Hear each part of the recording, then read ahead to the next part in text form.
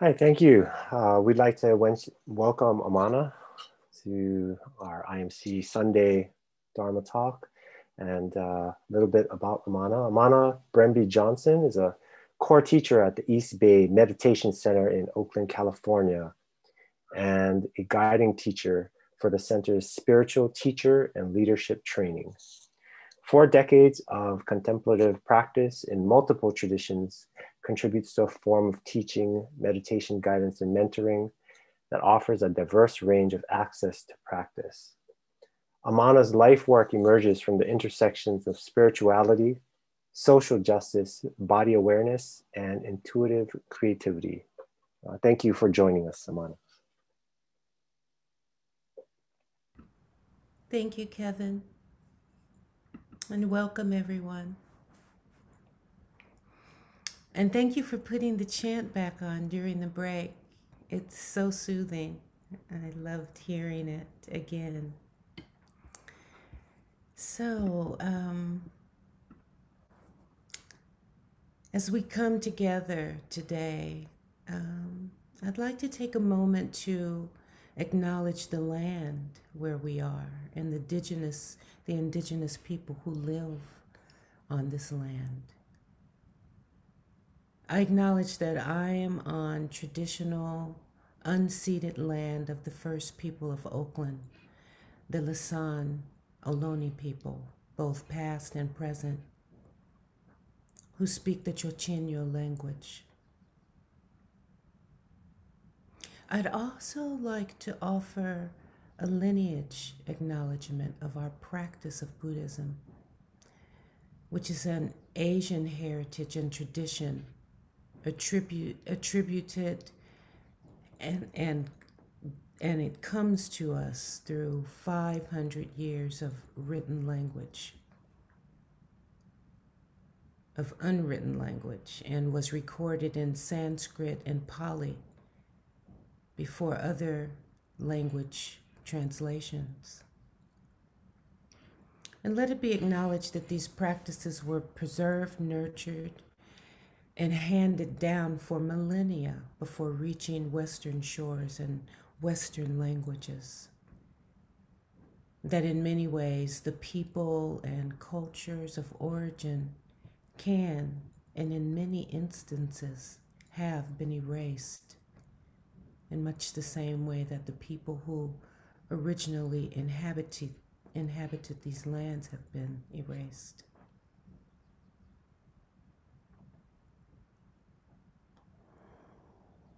So let us remember our ancestors and the ancestors of this land who survived pandemics, the destruction of their known world and their ways of living. May we hold their names dearly in our hearts and minds. And may this acknowledgement serve as a reminder of our inextricable connection to the practices we share and the places we inhabit, as well as a reminder of our connection to the earth across species and across time.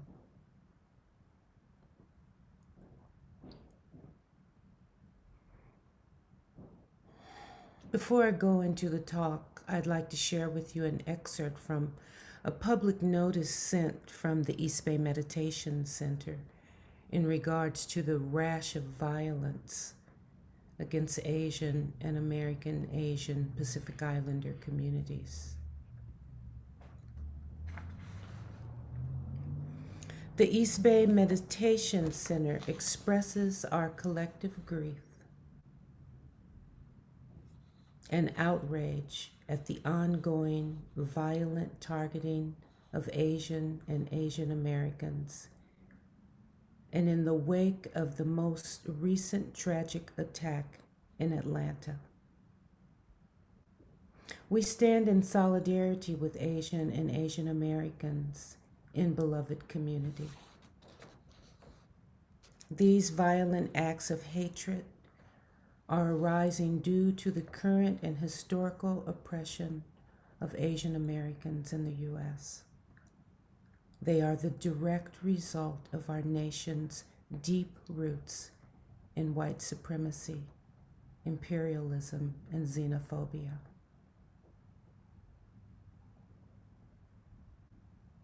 I'd like to invite you all to participate in a moment of silence as I recite the names of the beings whose lives have been senselessly taken during the Atlanta mass murdering spree, which happened just on Tuesday.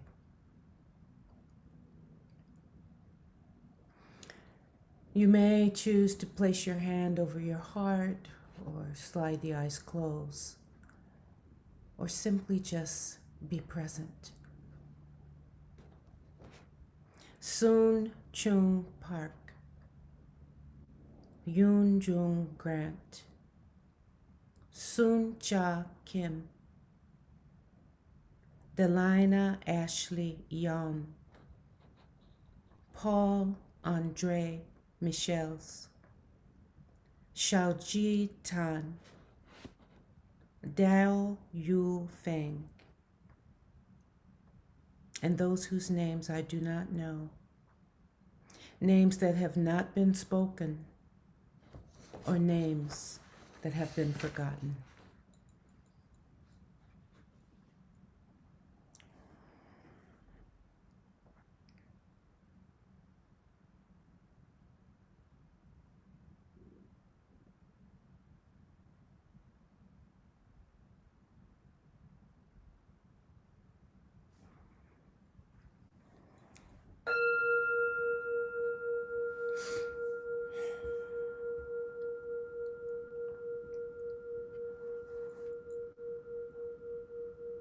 And even in the midst of all this, it's so important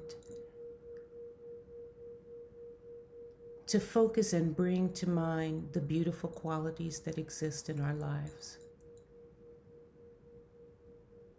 And it's a pleasure to be here with you today and to share my experience of the Dharma on this first day of spring it's a day of great significance as a time of birth and rebirth, of renewal and awakening.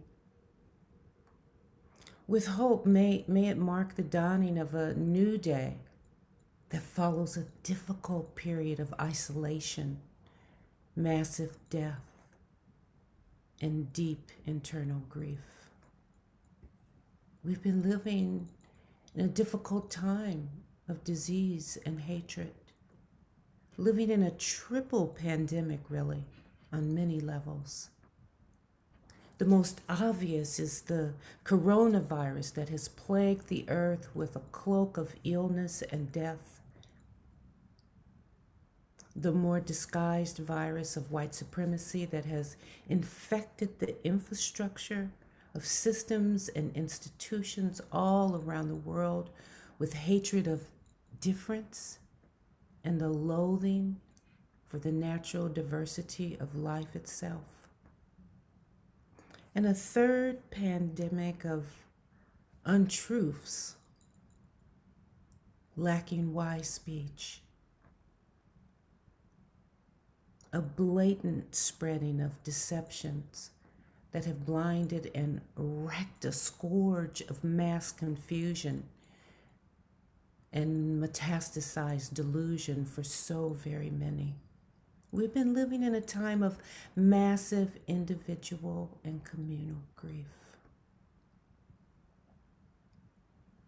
And what is fortunate is that the Dharma is immensely vast and far reaching, that it touches into every aspect of our lives the seen and the unseen, acknowledging the known the unknown, and the unknowable. There are many paths to enter the Dharma. Some resonate sweetly within our hearts, and others present difficult challenges to overcome. The undoing of our harmful conditioning. You know, life has always been hard to pin down.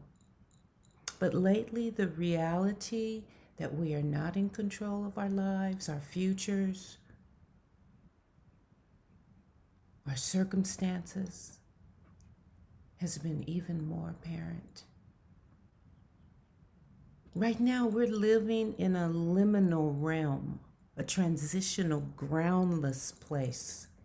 Here, nothing is certain. We're at the threshold of an unknown. The threshold of an unknown. This invisible cloak of delusion the delusion of predictability, it's been pulled back to reveal the truth of uncertainty. Our lives today have brought into the open the instantaneous passing of each moment.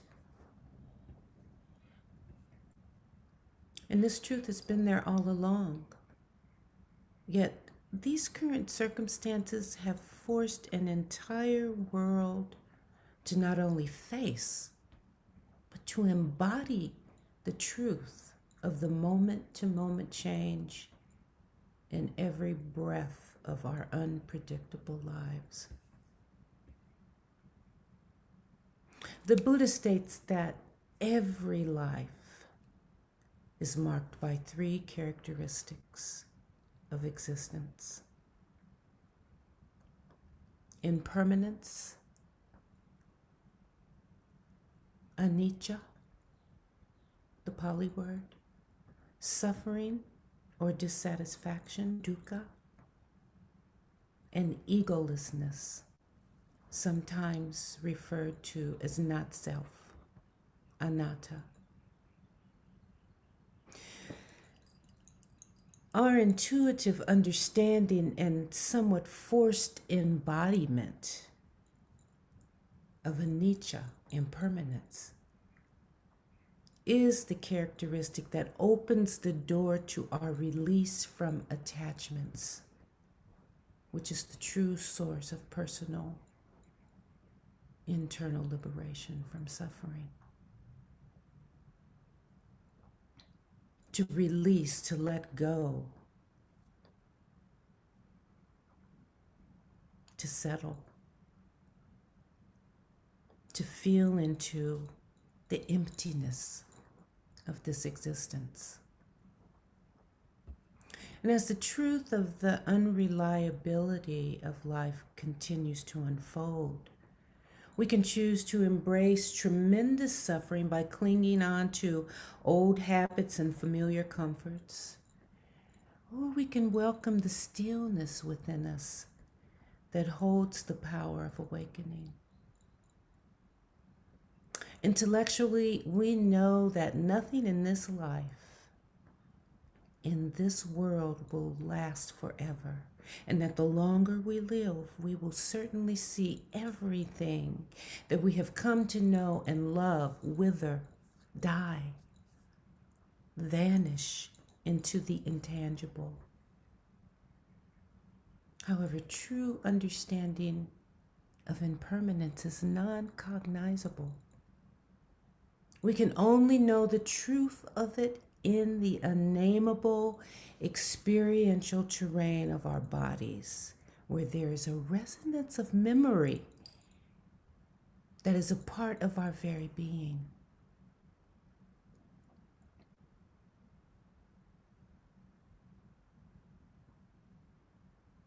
Sati, to remember. To remember. It's there within us. You know, the ancestors are not out there somewhere, those who have come before us. They live within us. They move through our bloodstream. They're in the marrow of our bones. The chain of DNA in our bodies that gets passed on from generation to generation. The memories are there.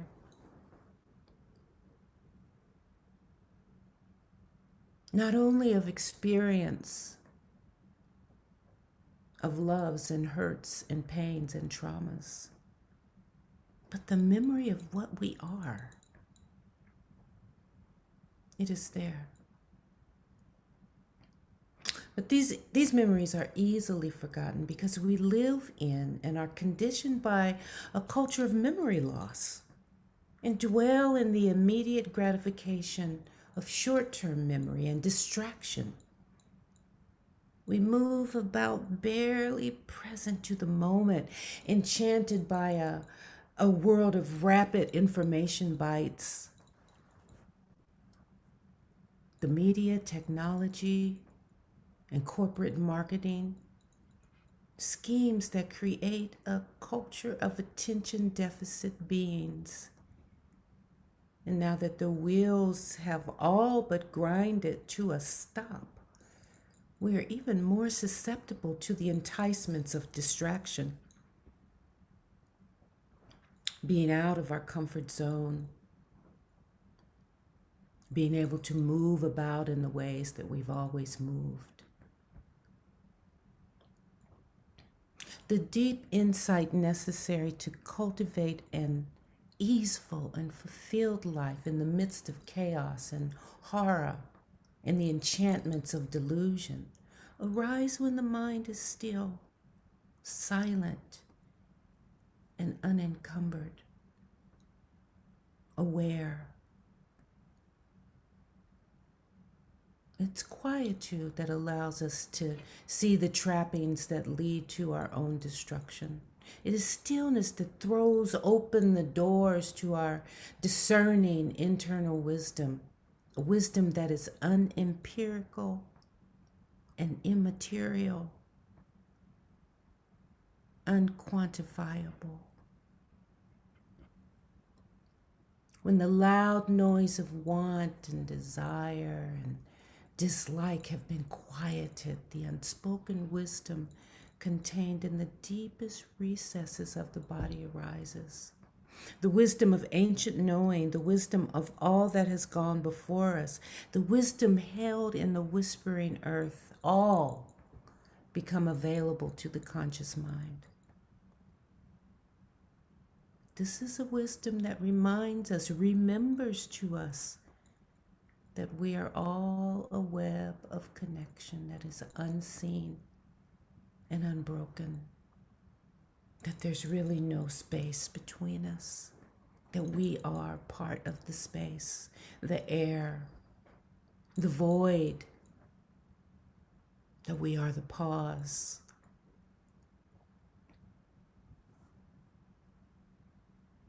This is a time for remembering what it is that we have forgotten. Connecting with the memory contained within the body.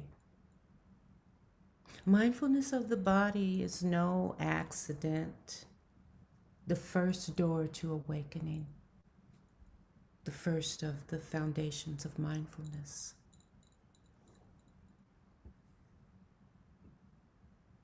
Our cultural default is wired to do too many things move too fast, take on too many projects, and juggle too many jobs in our endless efforts to make ends meet or to acquire the things that we have been told and conditioned we need for a fulfilled life. And accompanying this normalized way of life are deeply seated feelings of overwhelm, overload, fatigue sleep deprivation. And these are all systems and mental states that keep us from remembering that we are sacred in our very flesh, that we are light beings of infinite energy, living for just a brief whisper of a moment on this material plane. That we are interconnected to all around us, both animate and what is seemingly inanimate. I read just the other day that it's been noticed that trees have a heartbeat, so spaced out that it's not hardly at all perceptible. Everything we touch vibrates with the energetic charge of life. The same charge of life that is apparent in our senses when we allow the mind to settle and be with what is. Constantly juggling the balls. Where do we find the time to reflect upon the moment? When do we stop to take in the effects of that incident that arose today, yesterday, on Tuesday? And before that, where do we tuck away the horror story that we witnessed? Or the daily infractions that got stuffed down, packed on top of the other, the other, the other unresolved stories, now absorbed in the body, awaiting their time when attention will be turned in that direction. You know, living like this is to constantly stub the toe and not take the time to attend to it in the rush of getting to the next task.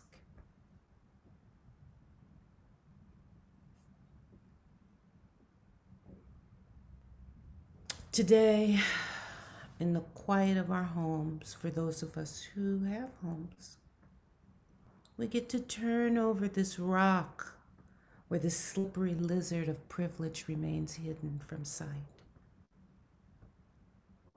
You know, lately we've heard a lot about white privilege. But privilege is not only white, each one of us has a degree of privilege that others do not have. If we are listening, the current circumstances can help us tremendously to bring our awareness to where we fall on that scale. Where do we stand when placed amongst those who experience these circumstances, these dire circumstances, as a continuation of the threat of death that has always been there.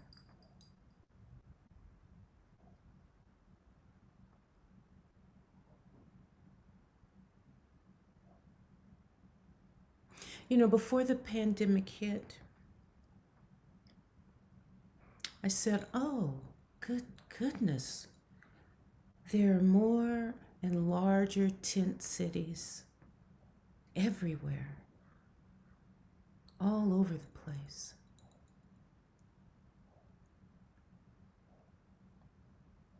As I turn the key to come into my home that I've made comfortable and a beautiful refuge, safe from the outside world. And now, on the few times that I leave the house and drive down the street, the tent cities are still there. They're much smaller.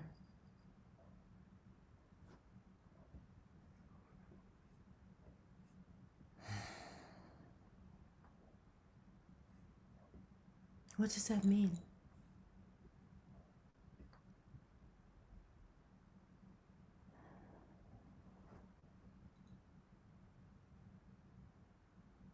I think it means that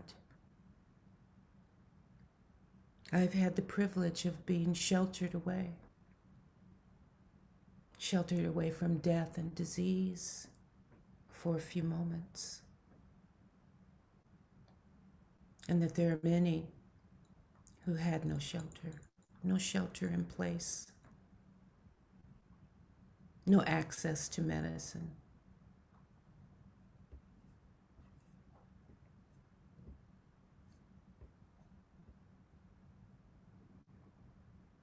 These words that I'm sharing with you are about memory and what it means to remember, what it means to turn a kind attention to all about us, all around us, to wake up, to see, to remember all that it is that we have forgotten. As the vaccines take hold and our lives begin to open up a bit, can we, can we remember what it was like to stop and bring awareness to our stub toe? Or will we choose to return to the abnormal life of rushing to make plans and cramming as many tasks as possible into the time frame of each moment?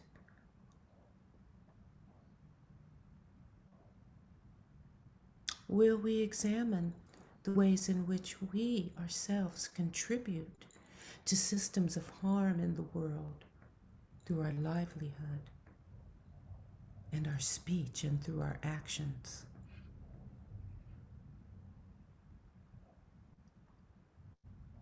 And should we choose to engage in those examinations, will we ask ourselves for forgiveness for the ways we've been complacent in contributing to systems and institutions and ways of life that are harmful to all beings and to the earth?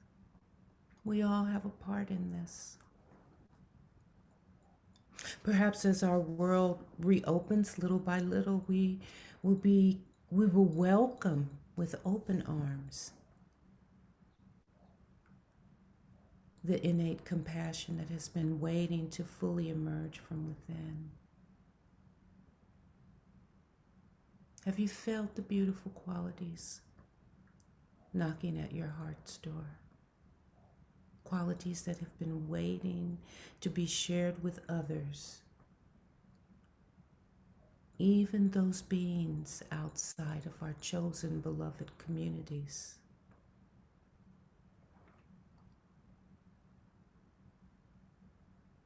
Maybe this life experience, this trial, just maybe has shaken us up just a bit out of our conditioned trance in a way that we might cherish the pure gold of this breath, of this time, this very brief time of our lives. Maybe we will deepen the practices necessary to explore the essential parts of our being.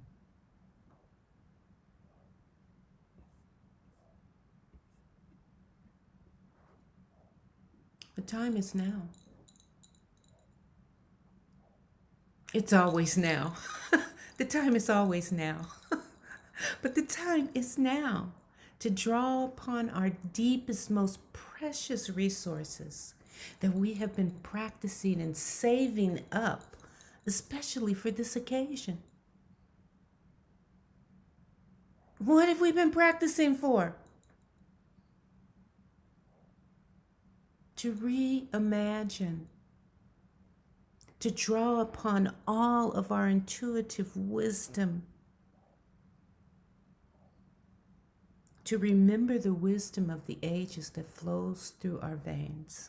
We recognize the truth when we hear it. It resonates in our bodies. It perks us up because it's there. This is the time to reimagine a new world. Not a remaking of the old world, but something never before seen. To envision how we can live in the deepest, most beautiful way possible. You know, I want to share this quote from Clarissa Pinkola Estes. My friends, do not lose heart. We were made for these times. I have heard it from so many recently who are deeply and properly bewildered. They're concerned about the state of affairs in our world now. Ours is a time of almost daily astonishment and righteous rage over the latest degradations of what matters most to civilized, visionary people. And you are right in your assessments. The luster and hubris some have aspired to while endorsing acts so heinous against children, elders, everyday people, the poor, the unguarded, the help, the help, uh, the, the helpless is breathtaking. Yet I urge you, gentle you, to please not spend your spirit dry by bewailing these difficult times. Especially do not lose hope. Most particularly because the fact is that we were made for these times.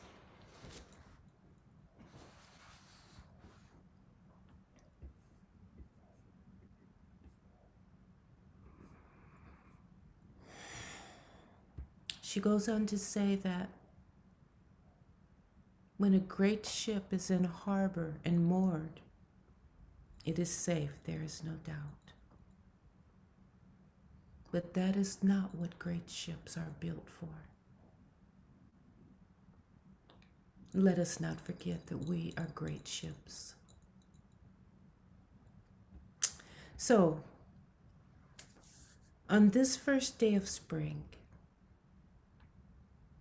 let us join the prayers of many in the northern hemisphere who honor the spring equinox and plant during the time of the growing moon and set a collective intention to create, to fashion a better world with our words, with our actions, with our deeds, to bring the ethics of the Dharma of our practice into these areas of our lives,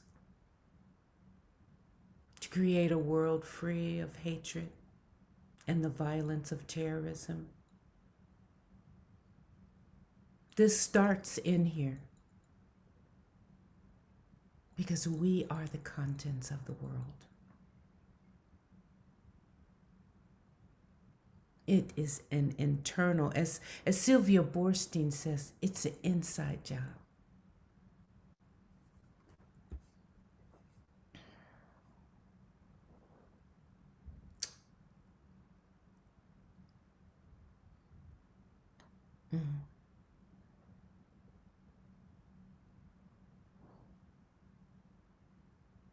Thank you for your kind attention.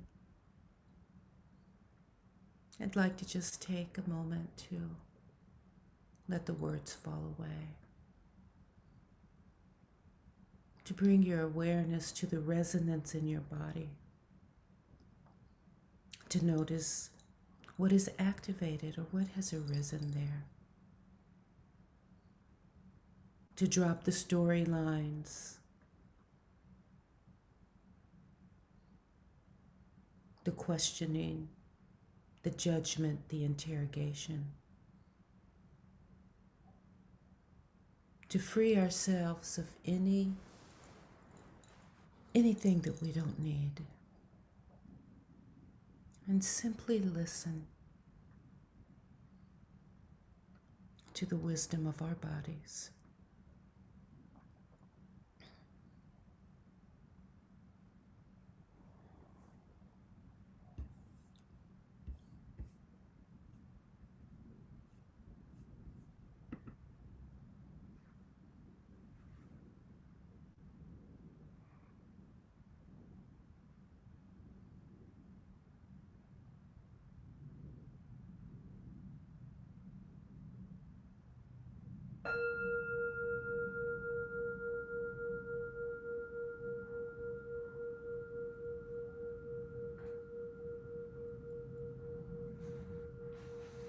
And as we close,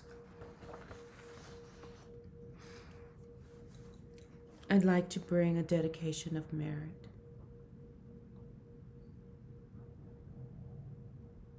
Today we have generated good deeds that entitle us to a spiritual reward.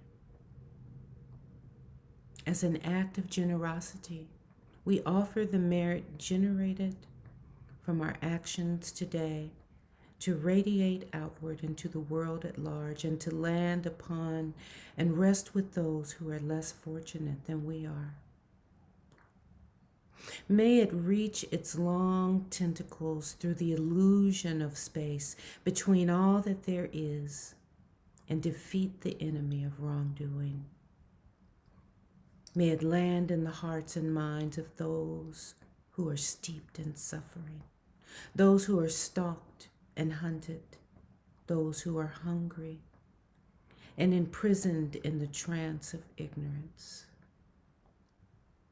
We offer the fruits of our merit to all living beings who crawl on the earth and swim in the waters of this world, all who fly and hop, who walk and climb, all those who see without eyes and hear without ears.